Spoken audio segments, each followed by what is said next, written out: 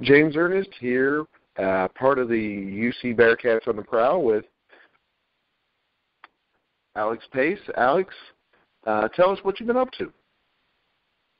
Hey, how you doing? Um, well, lately I've been training um, back in Cleveland at my hometown high school, just working out with a few guys who either you know who are in the league or you know or also have the same opportunities you know that I was blessed with to go to the league. So just been working out, working hard, just getting ready to go to camp.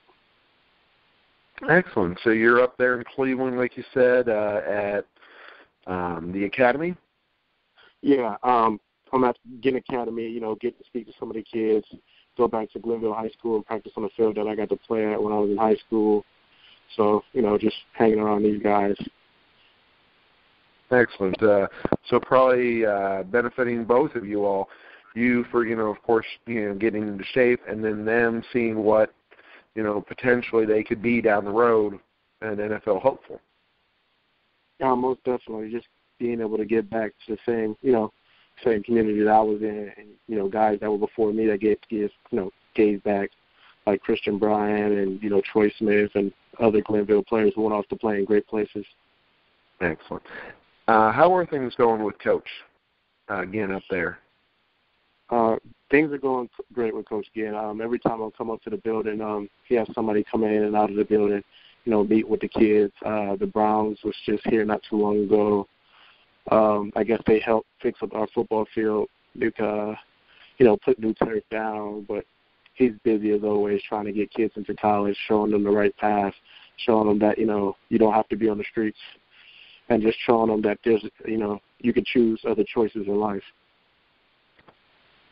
So um, I hear you're going up to. Ooh, there's Mark. Mark. Hey, what's up? Not too much. Just here with Alex Pace. He was uh, telling us about his uh, hometown in Cleveland and how he had uh, studied under uh, Ted Ginn Sr. Oh wow, okay, nice. And he was about to tell us about uh, Seattle and how that whole uh, process got started. So, did uh, they contact you, or you contact them? How did you? Uh, how'd that get going? Um, I guess it started during um, pro day. I guess you know a few scouts they got to watch film beforehand and everything. So the pro day was going on, um, right before I started doing position drills, they were doing um, offense and some of the linebacker drills, and you know a lot of guys were watching Gunner, um, Eric and Mike Tyson and them, and I was sitting on the sideline just waiting. And uh, a few scouts came up to me. They were like, "Hey, um, are you, you know, are you doing any drills? We want to make sure we get to see you do something." They just happened to be Seattle coach, and I'm like, "Yeah, I was just waiting for my opportunity." So I um, did my drills afterwards. He talked to me and told me like, "Yeah, we like your film. We like, you know, how you you play. You know, aggressive. You stay low, um, body control, stuff like that." It was just like, you know, it was a great conversation, and I just thought it was like one of those things where you know multiple teams just tell you, you know, come and talk to you.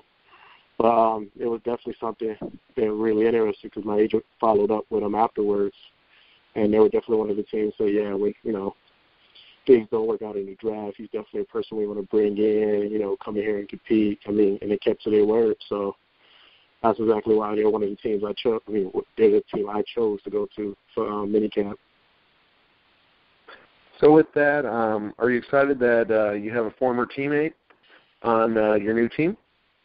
Oh, definitely. Um, Frank Clark, who went up to Michigan, me and him were really close. Um, even after you know we both went our separate ways, I went to Cincinnati, he went to Michigan. But yeah, just when he found out the news, he was excited. He reached out to me. I was just like, yeah, come home. Like it was already a home to me. But you know, just can't wait to go out there and finally get to see him again after all this time. And you know, you know, helps ease the process of going out somewhere new. That and well, I mean, uh, Tyson also got uh, drafted there. What the sixth round? Yep, Tyson too. So yeah, so that's good. You know, some familiar faces, that kind of thing. So I mean, even though it's on the other side of the country, it'll still feel like home. So that's good. Yeah, definitely. Actually, uh, I got to speak to one of your uh, former coaches today, uh, Coach Prunty, and of course, uh, you know, his advice was, uh, you know, keep what you've been doing, and uh, you know, keep uh, God, of course, you know, in the forefront, uh, you know, your life. And uh, let's see, what was the other one? Yeah, be yourself, trust in God, and uh, hard work. Those were the the main things because I asked him, you know, shoot uh, if he had any advice for you. And then, yeah, of course, the other big thing he was uh, talking about was uh, leverage. He was saying that uh, you tend to focus on uh, staying low. Is that true? Since you're not one of the taller defensive tackles. Definitely. Um, you know, nowadays D tackles are like six four, six five. Um, just guys that are really tall. So, I mean, me playing defensive tackle, you know, I'm only at six two, six one once you know the NFL got done with me. But like, um, yeah, just leverage is key, especially since you know everything is talking about being bigger and faster in the NFL. So a lot of guys, you know, I go against even while I was in college, tend to be taller than me. And I mean, there's no point in me standing up high and losing all my leverage and power. Why not, you know, use my my height to my advantage? You know, I'm already low, so just stay low. That way, I can get under blocks, play double teams better, and you know, just, just take control of the game more in the trenches. The low man's win. And he also mentioned with your improved pass rush from your, you know, sophomore to senior year that there's a possibility you might play defensive end. Um, uh, probably. I know at the Seahawks we uh they do a lot of different formations where you know a lot of those guys move around. Um, you see Bennett sometimes at tackle, you see him at the nose, you see him at the end, like just having those guys move around. So it all depends on you know where they wanted to see me at. But I know for sure they definitely like me. As right now, they wanted to see me definitely as a first, second down player playing a run, and they said, you know, I come out there, I'm in shape, I'm looking good. Definitely, you know, a third down possibility. Yeah, I was gonna say it's gonna be nice with uh, having it uh, going to a team that focuses on defense as much as they are are known for. I mean, they're basically the modern day Bears. It feels like. Mm-hmm. Yeah, definitely. Uh, defense is huge out there. I mean, you know, they call themselves the Legion of Boom for a reason. They just they're really focusing on that. You know, guys like Richard Sherman, you know, Earl uh, Earl and um, Kam Chancellor, those guys, you know, who who really fortified that defense and Bennett. You know, those guys, you know, bring something different to the table. They they didn't want to be like you know every other team out there in the country. Who, you know, you know, main focus was offense. You know, let's let's score more points. You know, the Seahawks still have a great offense, but their main focus is we're going to beat you up on defense. So what what gets your motor going on defense? What's what really um what gets my motor going. Is just um I don't know, it's just like wanting to stop somebody from doing what they want to do. I, I mean it's like kind of being a bully on the field, like um just, you know, just going out there, you know, these guys got a purpose, you know, they got a mindset of like, oh, we have to get in this end zone, you know, just me going out there, you know, stopping them from doing what they want to see how frustrated they are, you know, really gets me going, really gets me, you know, keep wanting to go. And just, you know, especially when we're like in away games, just seeing the offense being disappointed, living the crowd be disappointed is something that, you know, really hypes me up, you know, cheers me to keep going on. Mark, uh, you got any questions? Well, uh, yeah. Now, James, uh, I know I was late to the party, so you may have already uh, addressed this. Were there uh, other teams that had contacted you? Um, there were definitely other teams that contacted me. Um, early in the week before the draft, the Browns contacted me, the Cardinals, and a few other teams. But after the draft, um, it was mainly just the Seahawks, the Jaguars, okay. and one other team. But I mean, as soon as the draft ended, the Seahawks called me up, and I was just like, I'm ready to go here. So every other team called afterwards, and it was just like, I'm already going here.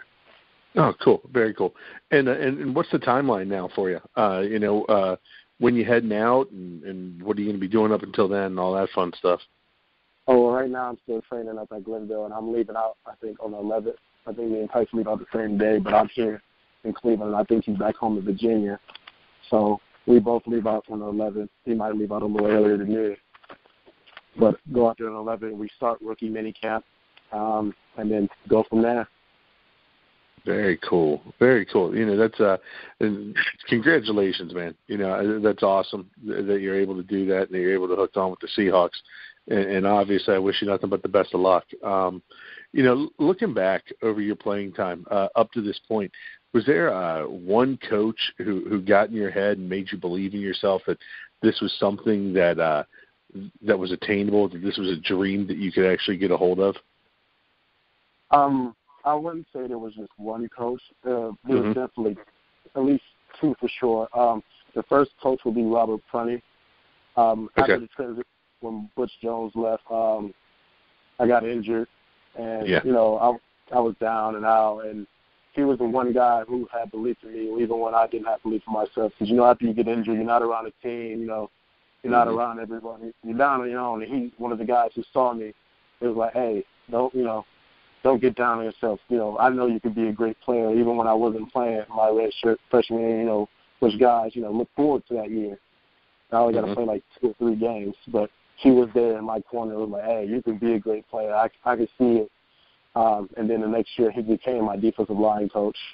After Good. that, and then um, the other guy would be Coach Ingram. Um, from day one, when he entered the uh, the room uh, uh, as a defensive tackle coach, I was just, you know, we was intrigued by him, like by his faith and by his goal. Like, you know, coming before we have a lot of guys from the D line like John Hughes and Derek mm-hmm. Wolfe go to the NFL. You know, Walter Stewart would have went if it wasn't for his neck injury. And but he was just like, you know, if you guys have that dream aspiration, like I'm here to make that happen. Like I was the guy who had a chance, but I cheated myself out of it by not working hard. So I'm not gonna mm-hmm. cheat you guys out of there by not pushing you to be better, not pushing you to get better. Is what, uh, which is one of the reasons why I think you're seeing our D tackles play to a higher level in the last 2 years. I'm like, especially Cortez Broughton, uh, Marquise Copeland, um, Norman Norman Oglesby, and, you know a few other guys that you're going to see coming up that you didn't get to see because they redshirted. But Right. just know those guys are just waiting and hungry to get on the field. Very cool, very cool. Now you said uh, you, you know you, you're considered, I guess, a little undersized for a defensive tackle, and, and you use leverage. Uh, what what would you say is your best move? Um, my best move, I'm more of an old school player, would be a bull rush. So like a bull rush, Okay, so like uh, rip or a bull rush snatch pull. I'm more like I I love watching like what you said, the 85 Bears. Um, Mhm. One of the things I like to watch is you can just see how they dominate up front with their front seven. And if you look at those guys, those guys ain't doing anything cute with the spins. Or they're just man on man. I'm gonna beat you. And the bull rush is one of those things I like. It's just it just shows like, hey, I'm just gonna overpower you. I'm gonna beat you with, you know, skill, talent, and leverage. okay, yeah, just walking back, man. You know, uh, sh- sh- show them who the man out of the two is. That, that's good. I like that. Um, la- last que- last question I, I have right now. Um, what was pro day like, man? You know, Um, Pro Day was completely different, a whole other monster uh, I've never experienced. Um, this year we did Pro Day outside, which was completely different, um, you know, just due to the bubble uh, schedule. But um, it was definitely nerve wracking. I mean, I got the opportunity to go to a regional combine, so I had like a, you know, a small sample of it would be. But um, Mhm. Pro Day with all those scouts looking at you, all eyes on you, you know, you can hear shoot, uh, a pin drop on the field. That's how quiet it was out there. Just, just Really? watching them look at you, and you know, knowing that every little time, every little movement, every little, you know, how you carry yourself, is them judging you to see if you know if you can be a guy that can help their program out. Okay. Now, now was it your coaches running the exercises, or did they have some of the the pro coaches uh, running it? Uh, none of our coaches were there, but we got to see Luke Fickell. He didn't run anything, but he was a guy that definitely uh, inspired us on while he was out there. But everything was all pro coaches. So like, I know for like Gunner, he had like the Rams, I guess, running his throwing drills and everything else. Hmm. Um, Keon had, I think, maybe the Lions coach. Okay. I think helped him out, and we had the Bengals for the D line. Oh, okay, So, cool. yeah. Oh, very good, man. That, that that's cool. You know, um, how's uh, and I know you've probably had limited uh contact with him, but uh, how, what's Coach Fickell like? I mean, have you gotten to talk with him at all, or or anything? Um, I've met Coach Fickell a couple times. He actually remembered me uh, during the recruiting process before I committed to UC. I was also getting recruited by Ohio State, and he was recruited in Okay. my area. So me Okay. and him, you know, way back, even though I didn't go to Ohio State. He happened to remember me because of the tattoo on my arm, which you know, from my high school, really know. And we just talking about um, some of the guys, you know, some of the players that I knew at Ohio State. But he's he's a great coach. Just speaking to him that little time and seeing how how invested he is into Cincinnati. Just changing the whole culture out there is just something amazing. I mean, just seeing the guys how energetic they are, you know, ready to go to practice, especially those young guys who are, you know, mm-hmm. hard to motivate. But now these guys are just like, I can't wait to get out there. I can't wait to go practice for this guy. It's just seeing energy. You can see it in the city. You can see it in the fans. And it's something I look forward to seeing, you know, watching as, you know, I can try to continue my path and just watching the see grow. Very good, very good, uh, James. That, that's uh, that's everything I had. Excellent. Um, yeah, you mentioned about Ohio State, you know, recruiting you, and obviously North Carolina, Syracuse, West Virginia. You had a lot of teams going after you. What ultimately uh, caused you to decide on UC? Um, a lot of guys would say the exact same thing. Um, it wasn't the coaching staff. Even though Butch Jones was a great coach and he had a great coaching staff with Steve Stripling and them, and it was the players. It was the city. Um, it was the thing. I came to the game where UC won the conference championship playing UConn in the Nippert Stadium. Um, oh, okay. Yeah, so I came to that game and I got to meet Silverberry in his uh, red shirt year. I got to meet Walt Stewart and I got to meet uh, John Hughes, who's a good friend of mine now, and you know Derek Wolfe. Just meeting those guys, being in the locker room for those guys for those 48 hours I was there changed my whole life. Like my mom knew it. Um, from the minute I was on campus, she was just like, "You like this place, don't you?" And I was like, "Yeah, it's just something about this city." Yeah, we had Silverberry on the show before. Really great guy, excellent guest. Hopefully, something ends up working out for him because I know at one point he was uh, considering Canada as an option. Mm-hmm. Yeah, I mean, I um, he, hello. Oh, I was gonna say I think he could do well up there. I mean, shoot, given the opportunity or that or arena. I was gonna say because unfortunately uh, the NFL hadn't worked out for him at this time, but you know, he's he's got talent. Yeah, Silver definitely has talent. I mean, um, injuries would hurt him the most. Mm-hmm. But uh, I know as right now he's he's really helping out his father. You know, in his family situation, he's been you know helping out his mother and father. He just moved to Chicago um, because his father had a you know an injury in the past that mm-hmm. you know he's still trying to work through. And just Silver just has that you know selfless nature in him. Just like, hey, you know, I'm gonna postpone what I'm doing to help out my family. And that's one of the biggest things. You know, no one could ever you know talk bad about Silver because you can tell how much he gave, what you could see what he did with this program. With uh, your time at UC, what was your favorite bowl game? Ooh, my favorite bowl game. It would definitely have to be the first Belk Bowl we went to when I was there when we played Duke. Um, yeah, winning's always a good thing.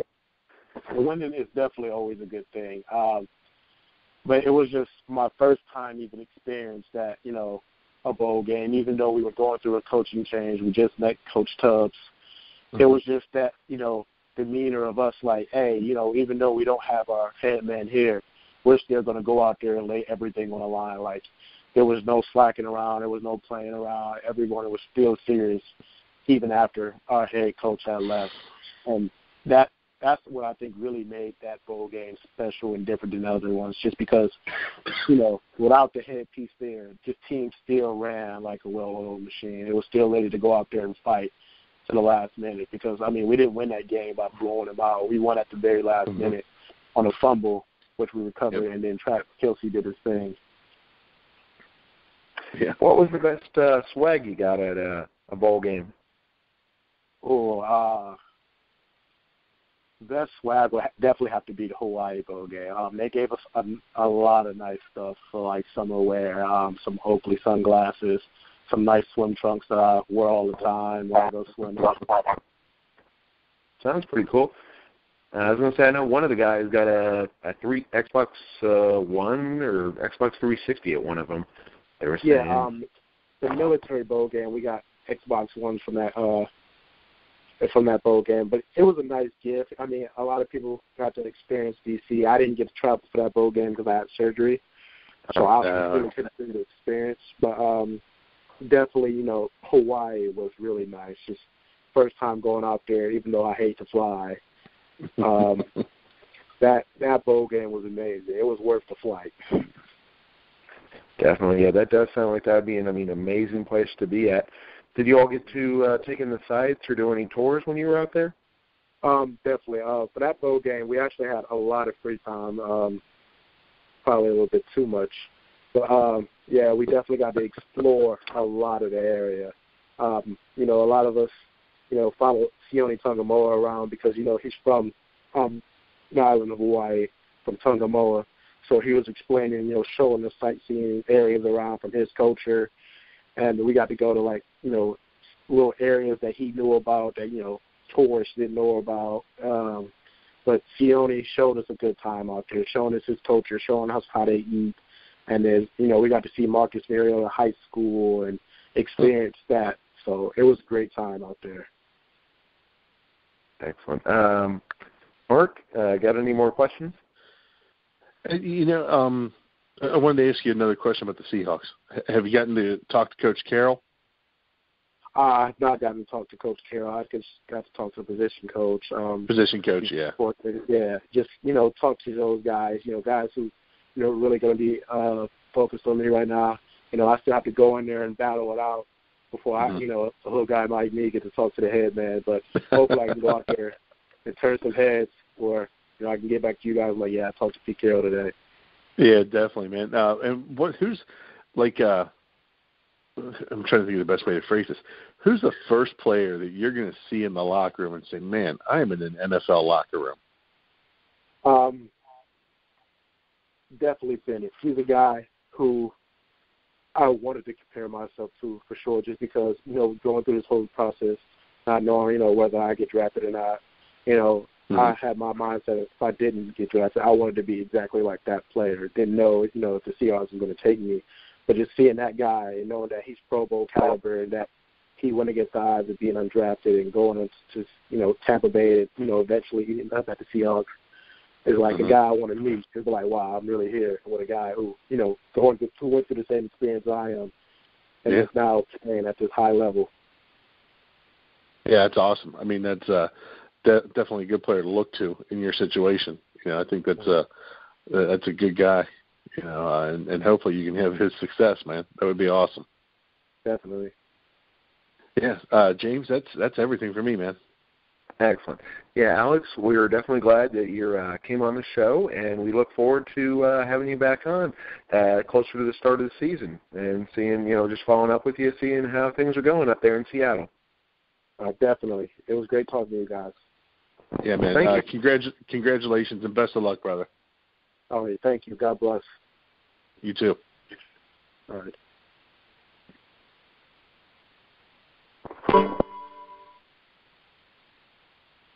So that went pretty well. Yeah, it was fun. Excellent. Your little guy feeling any better? Uh, yeah, he's he's all right. He's just he's got really bad allergies, and uh, it's it's making him sick. You know, like uh, just can't get uh can't have a clear head. You know what I'm saying? Like always stuffy and always like swallowing snot and all that crap. So he, but he's he's doing he's doing better. He's asleep now, so we're good. Excellent. Yeah, I was gonna say you're preaching to the choir with that one. Shoot, oh. uh, bunch of people at this house have had pneumonia, and it's just been oh, with the sinuses. Brutal. Yeah, it's just weather changing so dang much. I know, I know, it sucks, man. So but yeah, it sounds with uh, Alex's positive attitude, uh, he can go far up there in Seattle. I know, like Definitely. you mentioned, Coach Prunty, because um, I'd uh, talked to him before um, and had his contact info, so I called up and seeing, you know, if we had any advice for him. And uh, Coach, of course, is you know a big uh, big fan of faith, and mm-hmm. so uh, you know he always uh, preaches that, and just you know just keep working hard and keep doing the right things. And it sounds like Alex is definitely doing that by going back to his roots with uh, Coach Ginn. Um, yeah. Shoot, yeah. I was going to say uh, what I forgot to ask him uh, if uh, Teddy, uh, you know, his son does anything up there at the camps or anything like that. But oh, other than that, yeah, yeah, because I'm kind of curious what he's been up to. Because I think he's still playing in the league. I mean, he's he's been yeah. in the league a while, but he's just he one just of those signed guys. on with the Saints nice. I mean, he's just one of those guys that I think had probably been in the league ten, twelve years, but are just such good athletes. They, you know, they're going to find a spot for him. Yeah. Yep. So, any uh, new UC news or anything else you've uh, been hearing? No, not really. You know, um, just uh, you know, continuing to hear good things out of football. You know, uh, like Alex was saying, uh, you know, just a different attitude, and uh, and man, that's what we need. You know, uh, with football, and then with basketball, they just signed that. uh They just got a big six nine kid uh, came in. I can't remember his name. Uh, Diarra or something is his last name. I think they just signed him a couple of days ago. So we oh, got nice. another uh, another big man coming in. Uh, so that'll help things out. You know. Exactly. Yeah, I was to say, and with uh, losing a couple of the guys they did this year, I know that'll definitely help out. And uh yeah, I mean, it's nice to hear that uh the UC players are doing well, getting into the NFL. Yeah. Obviously, uh Mike Tyson uh got knocked out in the sixth round uh with Seattle, Mhm. so you got the two of those guys going up to Seattle is always a good thing. Yeah. Then I want to say Minnesota picked up Eric uh, Wilson, the linebacker. Oh, okay, okay. Yeah, and I want to say the Colts have got Bond, the offensive tackle or offensive Oh, did they? guard. I forget. Yeah, and then the tight end as well. I forget the name of the tight end. I don't know if they're. uh I think they were just signed to um free agent contracts. I think the only one that was actually drafted was Mike Tyson. Right. He was the only one drafted. Yeah. But on the bright side, I mean, shoot, that's five, six guys that have potential to be on an NFL roster. I mean, I know, uh, you know, for the season that they had on the field and all the troubles that they had off, that you know, it's nice to see that, that there is some success and some light at the end of the tunnel for UC.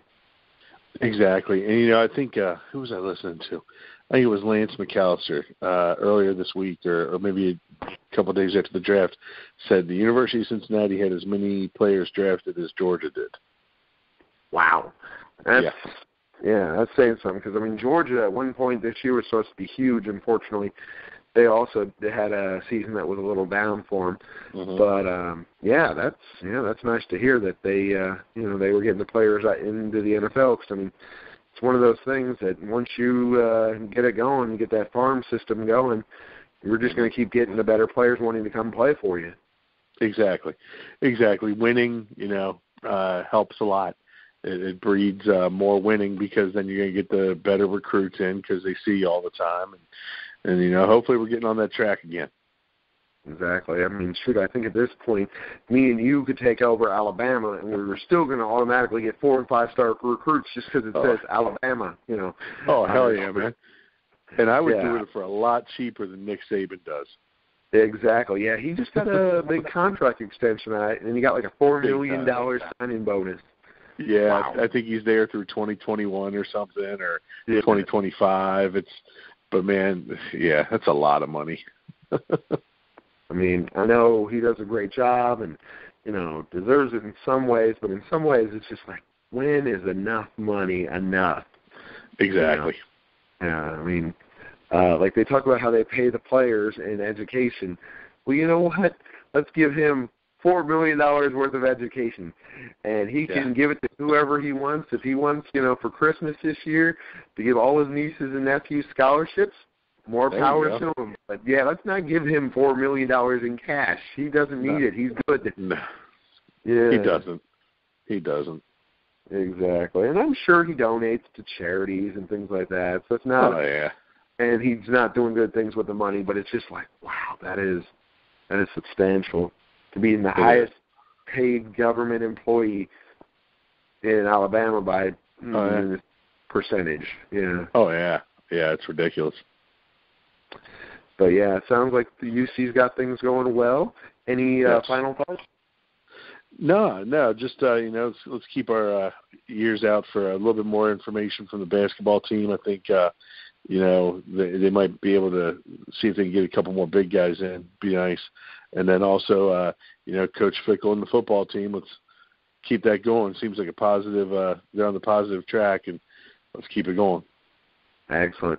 Yeah, I'll keep my ear out there for some of those players that um signed with teams, and hopefully we Yeah. can get the show just like uh, Alex. I mean, he was great, and I Mhm. hopefully he does well, so we can have him back on the show again later this year. Be like, hey, you know, shoot uh, with being in Seattle.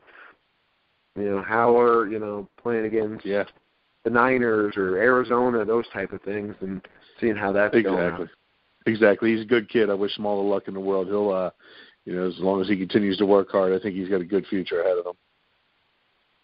Well, for James Ernest and Mark Fightmaster, signing off for UC Bearcats on the Prowl, part of the Grueling Truth Radio Network.